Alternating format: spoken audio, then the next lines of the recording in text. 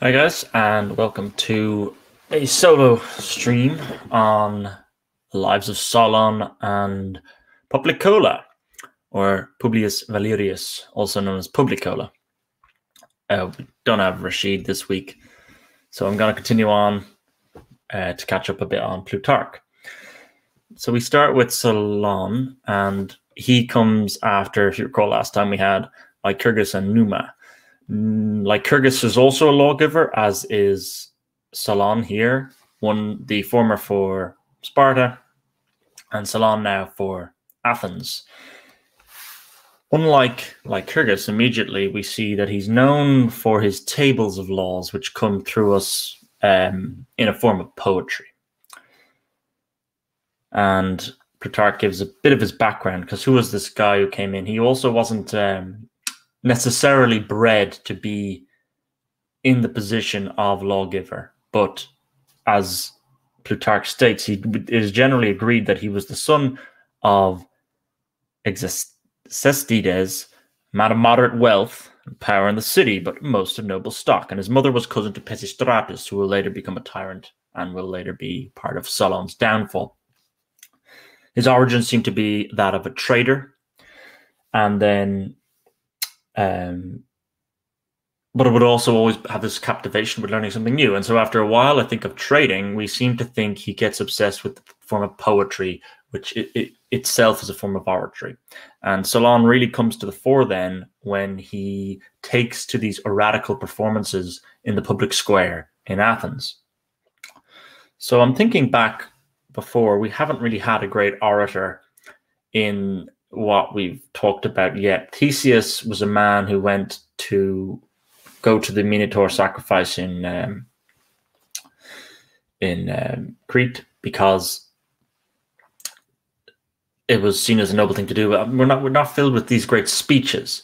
Neither do I remember one from Romulus. This is the first time in which we see someone taking to a public scare, square and captivating people. I suppose this is why he's known as a, a man of popular popularity amongst the populace, which is another reason why Plutarch is going to twin him with Poplicola, literally named so that he is of the people later with uh, Rome and the foundation of the Roman Republic. But he was always fascinated with learning something new, and uh, Plutarch ascribes to him the sayings, each day grew older and learned something new, and yet no was no admirer of riches. Wealth I would have, but wealth by wrong procure I would not. Justice, even if slow, is sure. Whether something happened there in his trading background, it's unclear. As the trader, we don't see him so much as a manipulator or someone obsessed with wealth, but more in that Hesiod, even Carlylean sense, where Hesiod said work was a shame to none. So was, I was a trader because I went, to, went out and wanted to work. There's a ethical foundation to him in his trade. Solon's softness and profuseness, though, however, distinguishes himself from the likes of the previous lawgiver like Lycurgus, where it was siege mentality that he wanted to create in Sparta, and of course was uncle to a king, so was much more already embound in the nobility than this sort of soft trader uh, who becomes a philosophical poet in Solon. Um, but of course, that manifests itself into how the laws are interpreted. Uh, interpreted. So they are taken down on these tables of laws, and they're done so in a sort of heroic verse. This is different to, oh, yeah, we have a rhetra with Lycurgus, but that is because he wanted everything to remain spoken without being written down, because if it was written down, it would become the sort of written constitution. It could be uh, codified and then left to later men to manipulate interpretations from the code. If it remained the great rhetra, it somehow remained this pure thing which was dictated to Lycurgus from the Pythia at the, at the Apollo Delphi. So, what exactly is Solon talking about when he gives these orations in the public uh, square?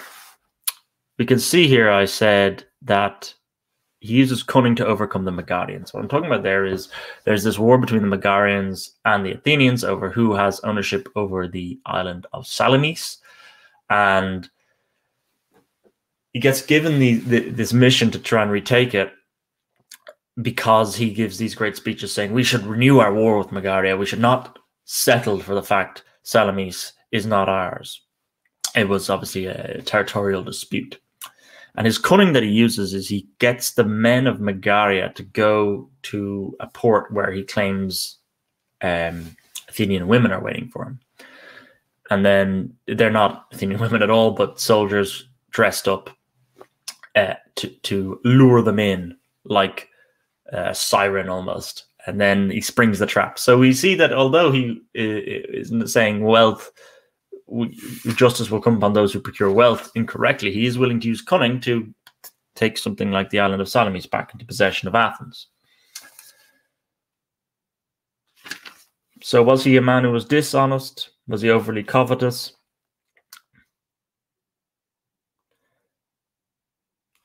Either way, this act gave a new life to an energy. Uh, Plutarch says here the Athenians were tired with tedious and difficult war they conducted against the Megarians for the island of Salamis and made a law that it should be death to any man by writing or speaking to assent to the city to endeavor to recover it. Solon, vexed at the disgrace, perceiving thousands of the youth. So he, again, this is a popular upspring from the youth against the existing Areopagi, the existing archons, the existing power structure in Athens. So he stands with the elegy and says, I am a herald come from Salamis the fair. My news from thence my verses shall declare. The poem is called was called Salamis, a hundred verses elegantly written and had been sung. So these are the verses, though, not of the court poet, but of a political activist. As he grew fame and powerful, that's when he does the cunning trick on the Megarians.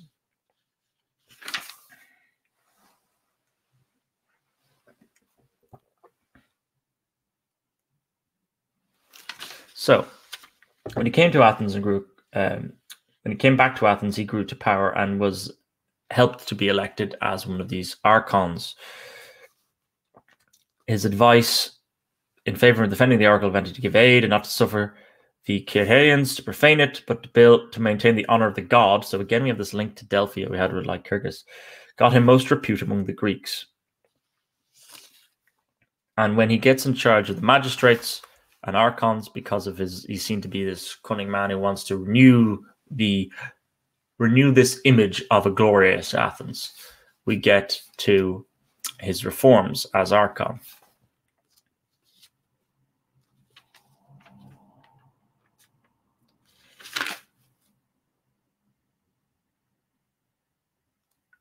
So the wise of the Athenians, perceiving Solon was of all men the not the only one implicated in the troubles of this uh, sedition party, that he had not joined in the extraction of the rich, was involved in the necessities of the poor, pressed him to secure the commonwealth and compose the differences. So his this idea that he did not like riches comes into his archonship.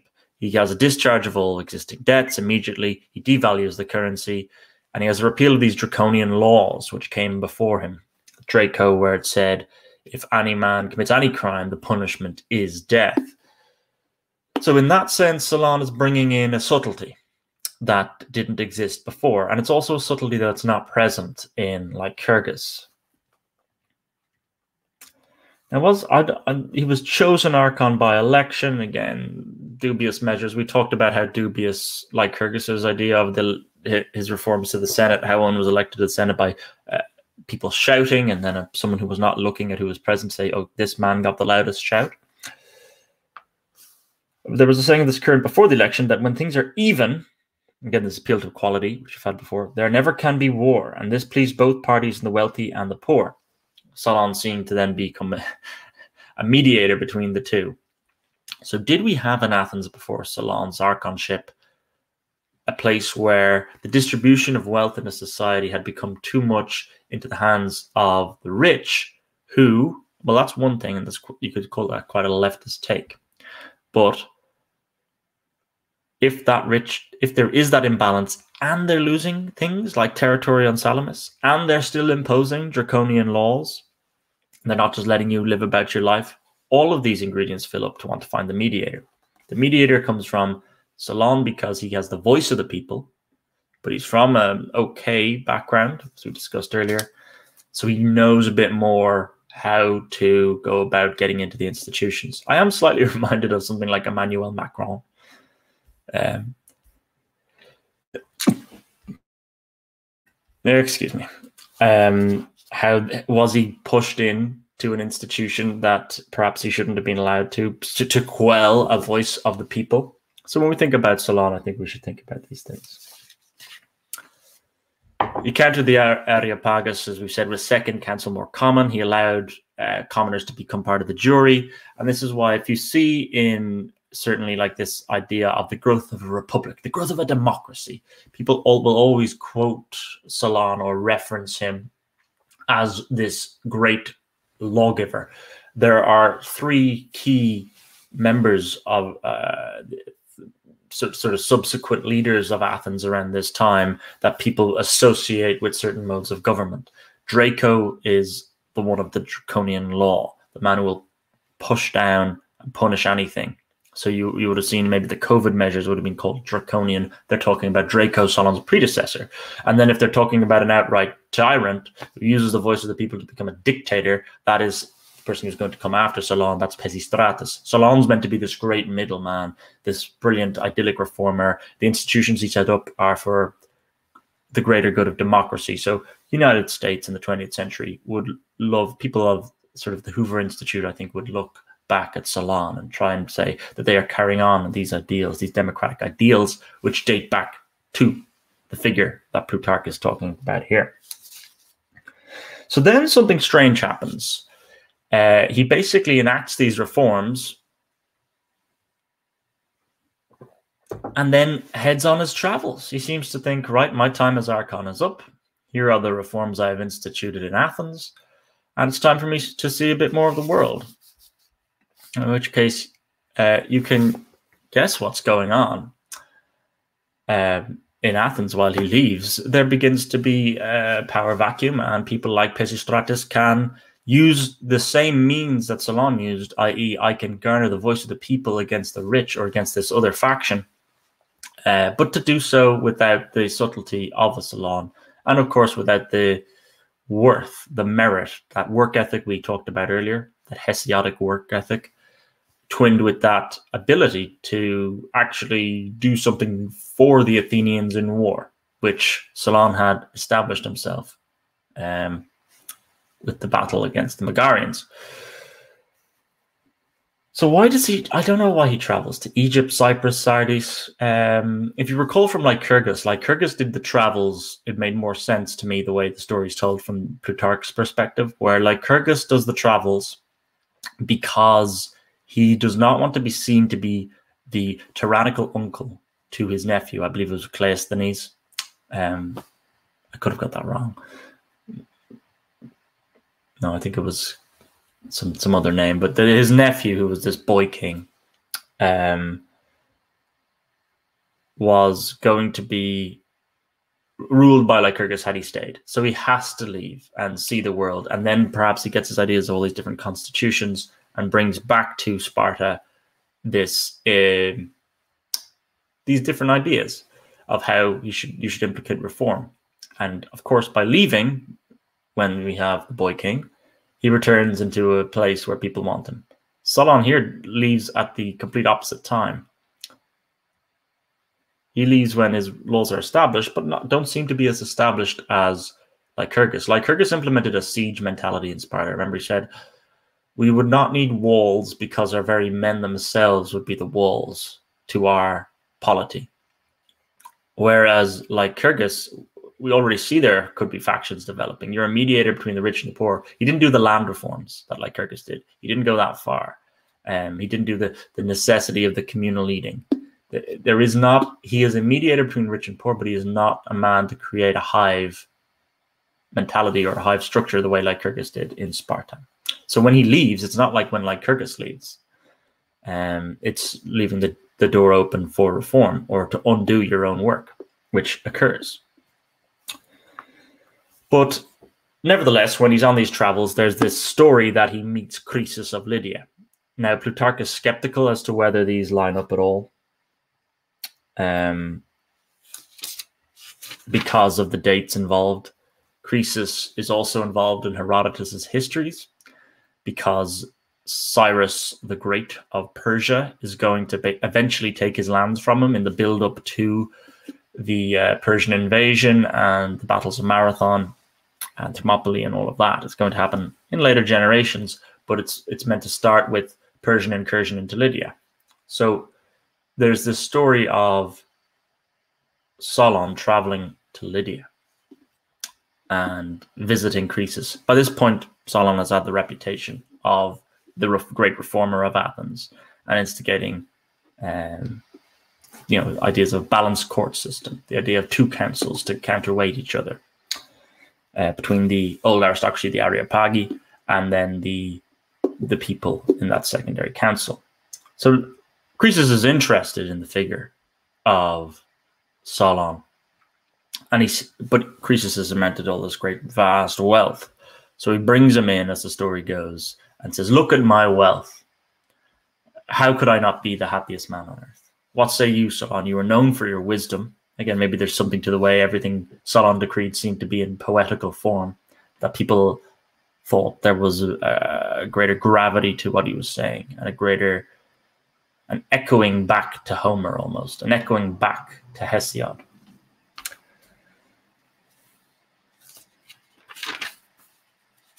But nevertheless, he visits uh, the treasury of Croesus and says, "No, you you are the richest, but you're not the happiest. I, I know my mate Tellus, uh, who was happier, and all he, all Tellus did was work an honest life and get an honest pay and receive a decent reputation for being uh, an honorable man."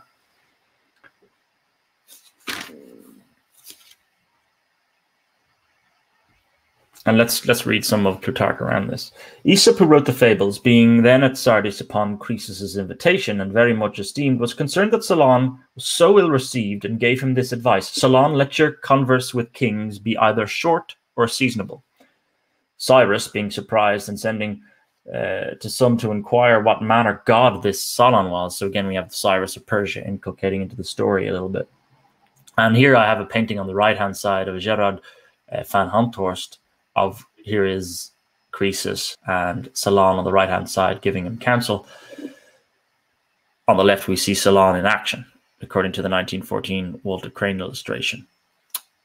But in other depictions of the Croesus and Solon tale, you see Persian troops in the background because it's meant to be that all of Croesus's wealth is but arbitrary and Solon is the last laugh. So that's why Plutarch here brings in Cyrus.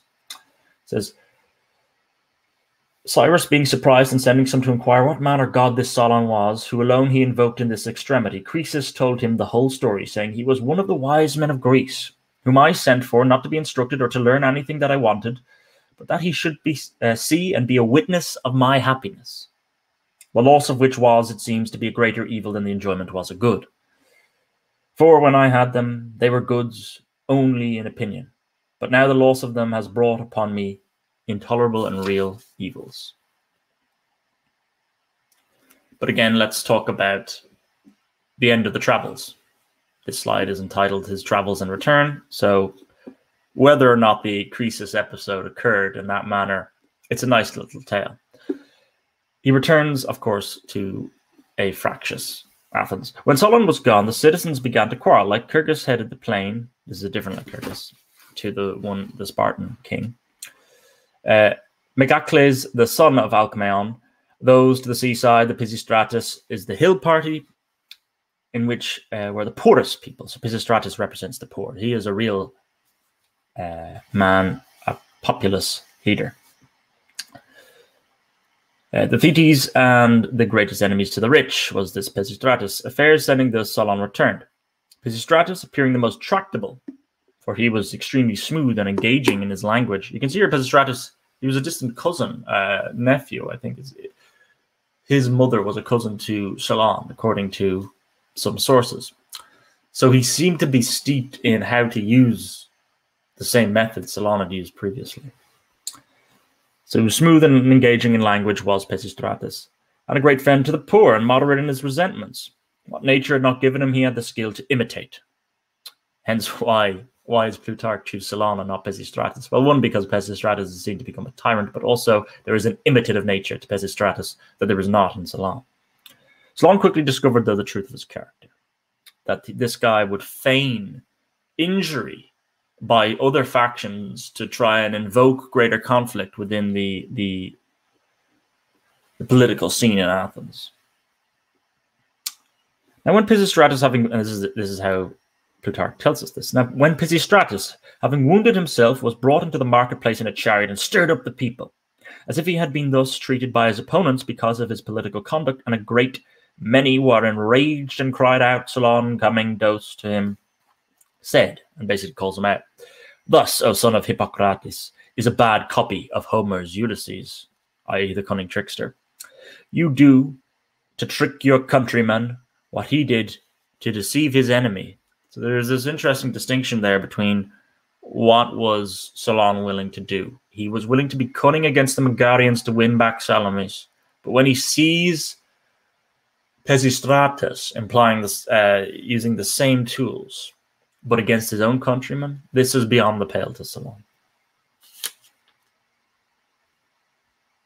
Exhorting them not thus tamely to lose their liberty, but but basically the soothing words and the, the, the stirring words at times as well. Soothing to when he needs to be soothing, stirring to when he needs to stir the populace of Pisistratus proves too much. Solon, though he's come back, has seemed to have lost the touch on the political scene somewhat. Uh, before it was easier to stop the rising tyranny, but now, when Solon realized it needed to be stopped, the great and more glorious action to destroy it, when it was already begun and had gathered strength, proved too much. This is interesting. There's like the time. There's still this idea of timing to Plutarch and, uh, uh, and greatness. You have to time it correctly. It's not so much that you are the light living fountain that Carlyle seems to espouse. But if we remember, Lycurgus seemed to have this a greater finger on the pulse of when to do things, when to enact your laws, when to reform the Senate, when to then mysteriously go off and die after you lived through the after you'd obtained the words of your people that they would obey the laws you had enacted and set down for them. Solon, by going on these travels at the wrong time, then by realizing the true nature of Pisistratus at the wrong time, too late, you've gained up too much of well support, seems to not have that finger on the pulse, that ear to the wind, uh, the way true great men may have. So, being accused of murder before the Areopagus, he came quickly to clear himself, but his accuser did not appear. So, again, these I think these are more cutting moves by Pisistratus, though, of course, the, the reality of the situation is lost to us. Now, Solon, having begun the great work in verse, the history of fable in the Atlantic island, which he had learned from the wise men in Sais, and thought it convenient for the Athenians to know, abandoned it. Not, as Plato says, by reasons of want of time, but because of his age. So, was he seen before an Areopagus trial for murder, or did he just get old? Plutarch seems to side with the latter. He just slowly got old. Each day I grow older and learn something new was still what he said, though, and he maintained that mantra right up until his death. There are accounts that say he lived after Pisistratus and seized the government. Um, uh, though we don't, I don't think we have direct sources, but Plutarch claims that Heraclides Ponticus asserts this a long time. But Phanias Eresian says not two full years, for Pisistratus began his tyranny, tyranny when Comias was archon, and Phanias says Solon died under Hegestratus, who succeeded Comias. So whether or not he did outlive him by outlive the Pisistratus tyranny by uh, a decent amount of time or not, he was ineffectual in his old age to overcome it, even though he'd fallen out with the character Pisistratus. So we've we've kind of got our first dapple there with populism. And Plutarch is going to compare that with Publicola, something like Publicola, whose actual name was Publius Valerius. This is going to all be about the ending of the line of Roman kings and the beginning of the Roman Republic. We're talking about, uh, I think, with uh, we're about 580 BC to about 560 BC in terms of the, the key events of his life. Here, we're about 70 years later, around 510 BC, um, up to about 500 BC, the enactment of, of the Republic of Rome. So, why am uh, this is always how Plutarch starts off the second of the lives. Why am I interested in comparing Solon to this man Publicola? To him, this him being Solon, we compare Poplicola, who received this letter title from the people for his merit as a noble accession to the former name Publius Valerius. He descended from Valerius, a man amongst the early citizens. At this time, Rome remained under its kingly government. But should the government fall into a republic, Poplicola knew he would become a chief man in the community. Um, so was he looking for an excuse? There are other uh, people of noble families. Uh, Brutus, Lucius Brutus, is the key enactor of the Republic. At the time, Publius Valerius seems to just go along with it. But the triggering event of the last king, which is Tarquinius Superbus, and there are a few Tarquins going around. Um, so Tarquinius Superbus is the the tyrant. The straw that breaks the camel's back about his tyranny seems to be this uh, story of Lucretia, where he has this rape or abduction of Lucretia and has her killed. And this is a sort of three panel story of it as told by Botticelli. The illegal and wicked accession of Tarquinius Superbus to the crown, says Plutarch, with his making it, instead of kingly rule, the instrument of insolence, tyranny, having inspired the people with a hatred to his reign upon the death of Lucretia, she killing herself after violence had been done to her. Um, they took on occasions to revolt. The key leader of this was, as I stated before, Lucius Brutus. Engaging in the change came to Valerius before all others, so he seemed to have wanted to confer in Poplicola, Valerius, that he had plans to overcome the tyranny. And when I began reading this, you do begin reading this life, wondering, well, why not choose Brutus himself? He is the one who inculcates the ideal of the Republic, similar to you didn't choose any of the second man, uh, second man of Solon. You didn't choose the second man of Theseus. But Valerius acquiesced. We'll get to understand why later.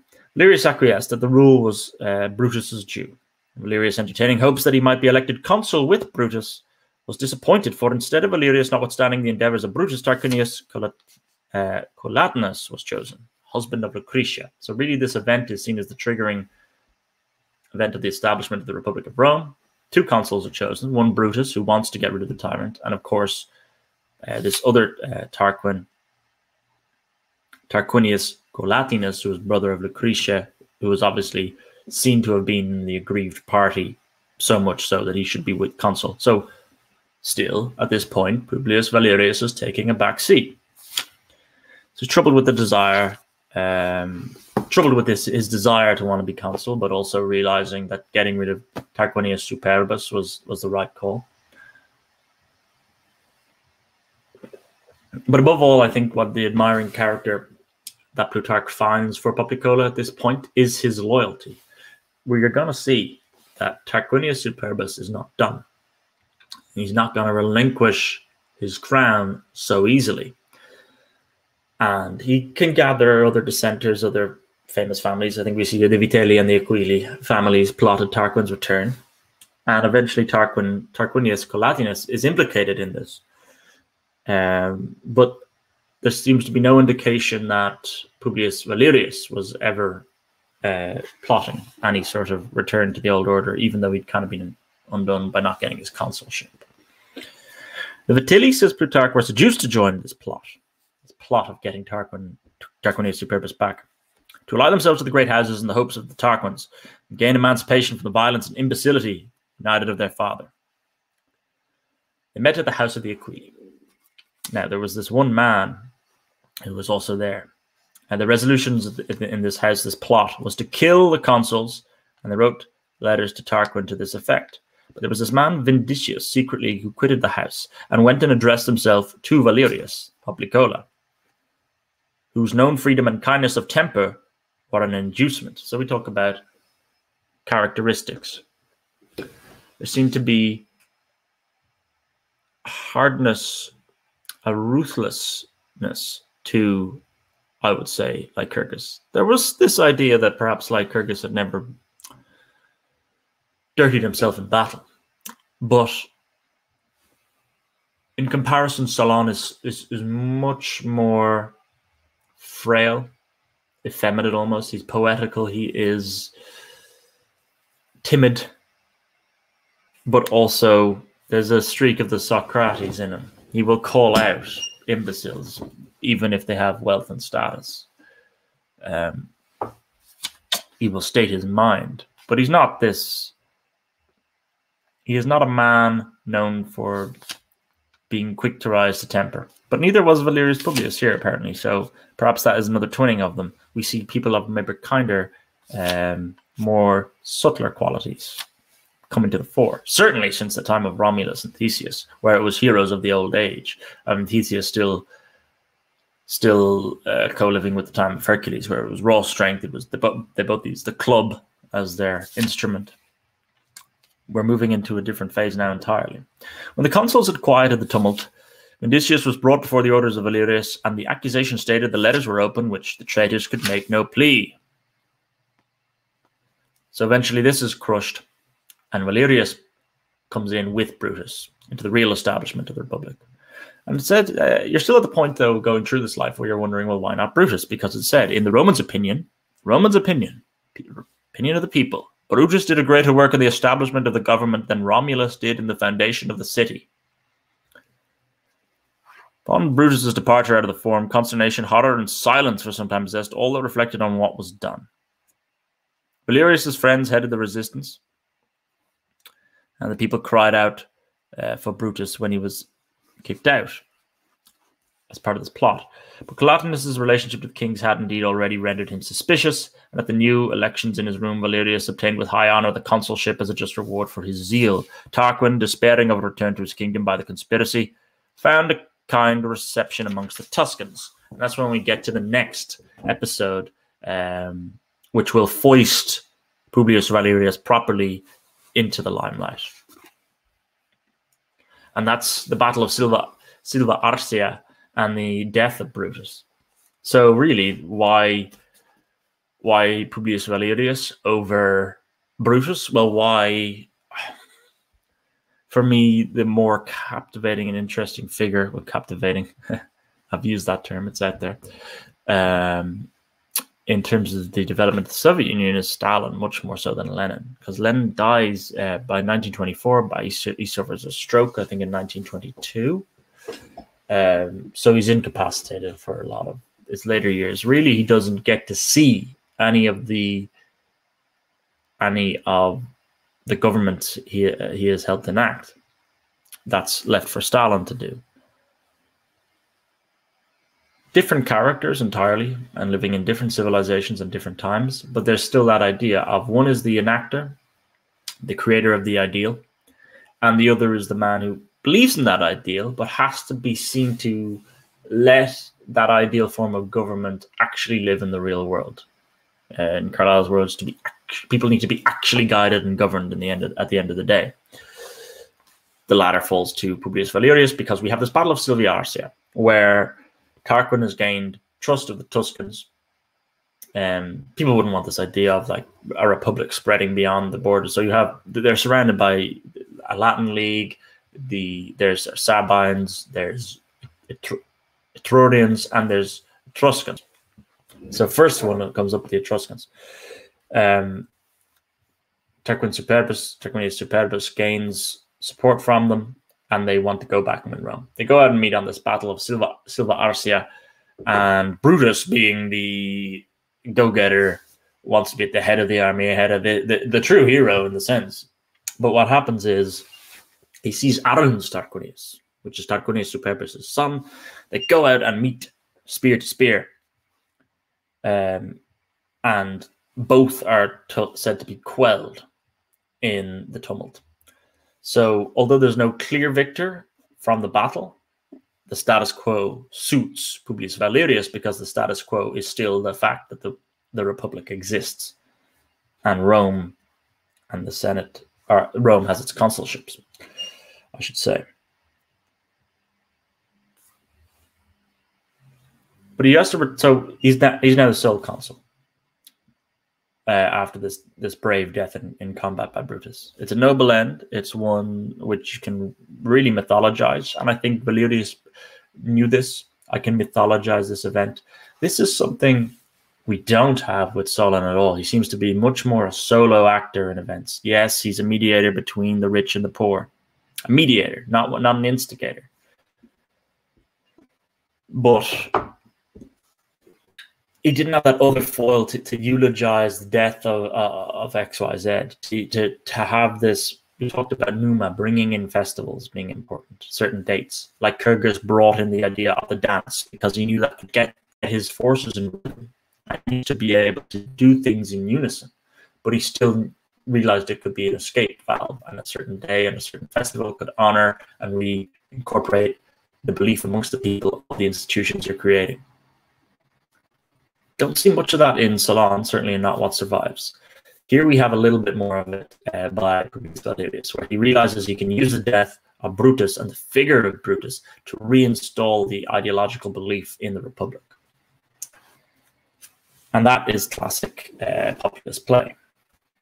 Yet, as sole consul, are you now king? And this is an interesting question. Of, of he allowed a lot of reforms that we can see as being similar to those that did, but as I've stated here, murder before trial was allowed because he thought that it's it's linked to to the fragility of the republic. That if you were killing people, were you killing strategic people from noble families to try and bring down the republic and reinstate reinstitute Tarquin as king? Yet some parts, says Plutarch, of Valerius's behaviour did give offence and disgust to the people, because Brutus, whom they had esteemed the father of their liberty, had not presumed to rule without a colleague, but united one and then another to him in his commission. While Valerius, they said, centering all authority in himself, seemed not in any sense a successor to Brutus in the consulship, but to Tarquin in the tyranny. They, the people, can love a Brutus more than Poplicola, but, but, what, what has happened here? Poplicola has become the king in the Carlylean sense, the way Cromwell must become a king, the way Mirabeau or Danton try and become kings in the French Revolution. The power vacuum needs a king, it will get filled. They love the idea of Brutus because he did never have to share his kingship, but in actuality, it was always Brutus who was the true king. The people just didn't see it because he was clever in sharing his consulship. Perhaps, uh, perhaps Poplicola is not being subtle enough there uh, by going forward with sole consul. But I think this you now have beginnings of how do we actually rule this republic, and Tarquin still wants it back. So I, I have um, certain sympathy with Publius Valerius here. He resolved to render the government as well as himself, instead of terrible, familiar and pleasant to the people. For whatever he detracted from his authority, added to his real power. People still submitting with satisfaction, which they expressed by calling him Poplicola. I don't know how that's that uh, uh, you know that how nick, that nickname got phrased or put in in the words of the people. Was it planted in the words of the people? I think I'm always reminded of uh, Paul Ince, footballer, coined his own nickname, and uh, which was the governor, and everyone had to walk around and address him as such. so I wonder if Poplicola has done something similar here. Let's talk, talk about some of his reforms. We already know what Solon did, so let's compare. First, he supplied the vacancies of the senators, whom either Tarquin long before had put to death or the war lately cut off. Those that he enrolled, they write, amounted uh, to 164, Afterwards, he made several laws which added much to the people's liberty, uh, in particular, one granting offenders the liberty of uh, appealing to the people from the judgment of the consuls, a second that made it death to usurp any magistracy without the people's consent, a third for the relief of the poor, taking off their taxes, uh, encouraged their labors. So we saw Solon redistributed the taxes system on a, on a wealth distribution system rather than some sort of flat poll tax or whatever. I mean, the whole idea of whether uh, how well coinage and taxation was uh, later implicated into these stories is up for debate. But nevertheless, we see taxation as one of the means by which he will gain popularity amongst the people. So, amidst the mildness and moderation for one excessive fault, he instituted uh, one excessive punishment, for he made it lawful without trial to take away a man's life that aspired to a tyranny. And that's what the, the interesting point that I had to my murder before trial. lab. It's about a murder related that if you aspired to a tyranny.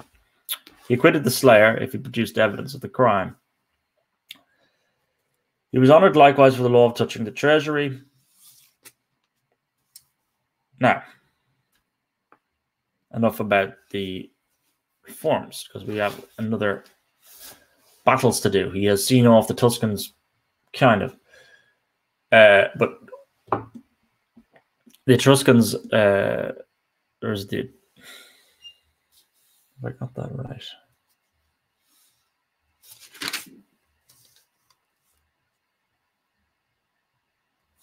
Lars Porsena is probably the wealthiest man in Italy, and Tarquin goes to him to help retake uh, Rome for himself. Whilst Tarquin was making preparations in Tuscany for second war against the Romans, it is said that a great portent occurred when Tarquin was king and had all been com completed buildings in the Capitol, designing whether the, from oracular advice or his own pleasure to erect an earthen chariot upon the top, he instructed a workmanship to Tuscans of the city of Veii but soon after he lost his kingdom. The work thus modelled, the Tuscans set in a furnace, clay, showed not the passive qualities which usually attend its nature, but subside and condense upon the evaporation of moisture, but rose, swelled into that bulk. Soothsayer looked upon this as a divine and prognostic success, power to those that should possess it. And the Tuscans resolved not to deliver the uh, to the Roman who demanded it, but answered it rather it belonged to Tarquin. So we have this idea of Tarquin was building this great building, um, it's great marble. And something, I mean, there's a little bit of myth embellishment here, but something had occurred that make it look really good, basically. And Tarquin is demanding his goods back. Um, Publius Valerius basically says no. And we can compare this to the Elgin marbles that Britain is constantly under pressure to return these were not Tarquin's possessions. These are not the possessions of the Greek state. Those marbles are instituted into the British Museum. The British Museum itself is an artifact of British civilization.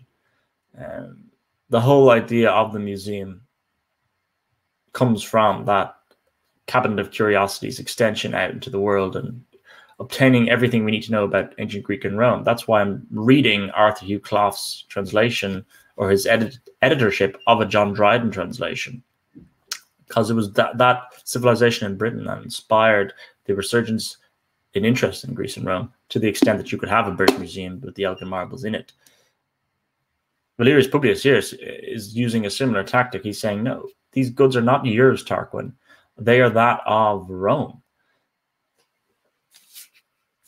The building of the temple of the Capitoline Jupiter had been vowed by Tarquin, the son of Dem uh, Demaratus, when warring with the Sabines, Tarquinius Superbus, his son or grandson, built but could not dedicate it because he lost his kingdom before it was quite finished. Poplicola was ambitious to dedicate it, but the nobility envied him that honor. So it's this idea of if we dedicate it, um, we will institute the fact that, we are now the, the new power structure. But he was de deprived of that honor himself, but he knew to give it to this man Horatius. Um, again, there, now Horatius comes in, and that's what we have here. Uh, Horatius, who will defend the bridge against Lars Porsena in another attempt to get rid of the Republic in Rome. Tarquin, uh, after the great battle wherein he lost his son in combat with Brutus, fled to Clusium and sought the aid of Lars Porsena. Poplicola was, in his absence, chosen as consul a second time, and Titus Lucretius, his colleague, in returning to Rome to show spirit, yet loftier than Porsena's, built the city Sigluria when Porsena was already in the neighborhood. Nevertheless, Porsena, making a sharp assault, obliged the defendants to retire to Rome. Romans, being dismayed, retreated into the city for their security. So Lars Porsena really did have a, a strong audience, a strong army behind him here. And Rome was in great hazard of being taken. The enemy forcing their way onto the wooden bridge were Horatius Cocles, seconded by two of the first men in Rome, Herminius and Lartius, made head against them. Horatius obtained this name from the loss of one of his eyes in the war. Cocles being like Cyclops. And he held back the enemy. And that's the painting we see here. It is also the lines stated by uh, stated by Macaulay in his Lays of Ancient Rome. Then outspake brave Horatius. So, where was I believe at this time Publius Valerius had gotten injured. So, again, who are you honoring here? Because you began by honoring Brutus. This is me questioning Plutarch. You began by honoring Brutus, seemingly the, with the establishment of the Republic more than Publicola, and you're kind of ending with this great oration, this this great tribute to uh, Horatius.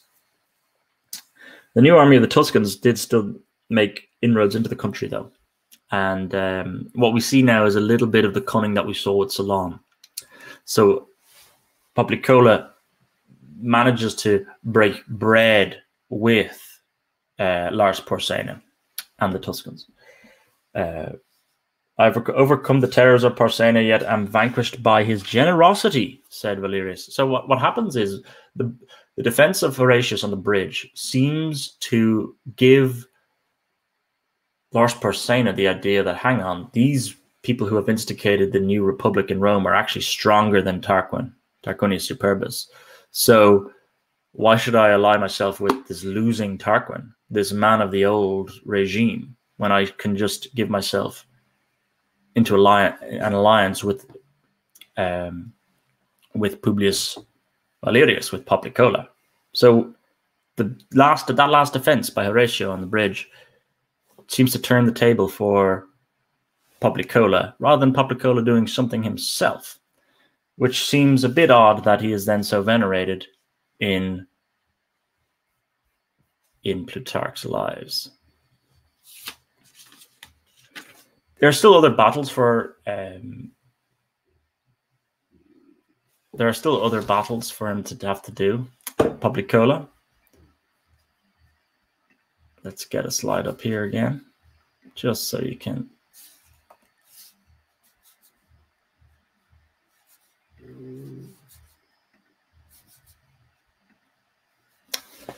just so you have something to see. He does the same trick again with the Sabines. He realizes that if I gain, I can gain my there's ways of gaining the allies with these. Um, there is also in this painting here I have, which is a popular enough subject, is Mucius, this this man of Publicola's tribe, Mucius, who puts his hand over the fire after being captured in an attempt to slay Lars Porsena, does not flinch. And this is also another contributing factor to Lars Porsena being like, okay, I need to lie myself with this Publicola because his men seem to be of such an incredible character, way better than anything Tarquin has, has given me.